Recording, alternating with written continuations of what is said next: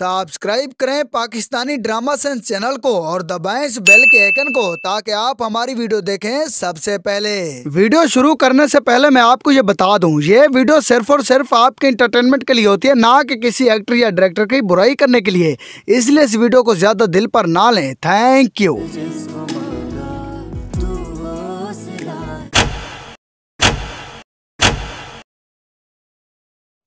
इस सीन में हाला जब यहाँ पर नमाज़ पढ़ने के लिए आती है तब इसके हाथों पर जरा सी भी मेहंदी लगी हुई नज़र नहीं आती। लेकिन जैसे हाला सच्ची बात बताने के लिए बहर आती है तो इसके हाथों पर यह मेहंदी लगी हुई नज़र आती है।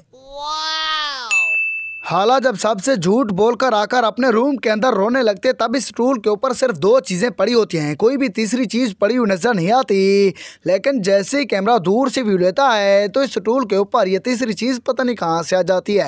ये दादी जब हाला को लेकर यहाँ से जाने लगते तब इस टेबल के ऊपर कोई भी पानी वाला जग और गिलास पड़ा हुआ नज़र नहीं आता। लेकिन जैसे ही ये दोनों यहाँ पर आकर खड़ी होती हैं तो इस टेबल के ऊपर ये पानी वाला जग और गिलास पता नहीं कहाँ से आ जाता है।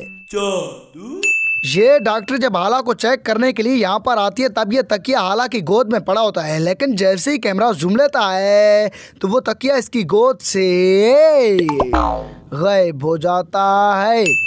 हमजा जब यहाँ पर आता है तब ये साफ़ नज़र आ रहा है कि इस टेबल के ऊपर ये मोबाइल पड़ा होता है लेकिन जैसे ही कैमरा थोड़ा जूम लेता है तो वो मोबाइल वहाँ से गायब हो जाता है। मारो मुझे मारो मारो।